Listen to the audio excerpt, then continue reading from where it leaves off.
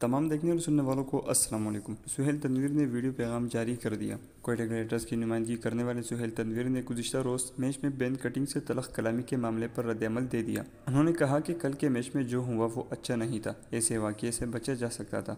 सुहेल तंदूरी ने कहा कि ये मामला 2018 से चलता आ रहा है। चक्का पड़ने के बाद जब मैंने आउट किया था तो इशारा किया, यह गैर इरादी था और मुझे बुरा लगा था। क्रिकेटर ने बताया कि अपनी इस हरकत पर उन्होंने अगली सुबह नाश्ते की मेज़ पर बेन कटिंग से माजरत की थी। सुहेल तंदूरी ने गुजशत रोज़ पेश आए वाक़े पर कहा कि कल के मैच में बेन कटिंग ने मुझे दो चक्के मारे और इशारा किया।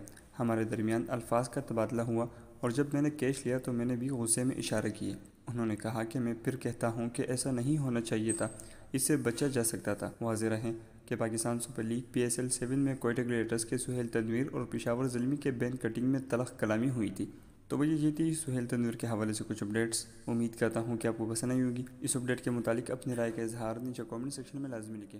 शुक्रिया।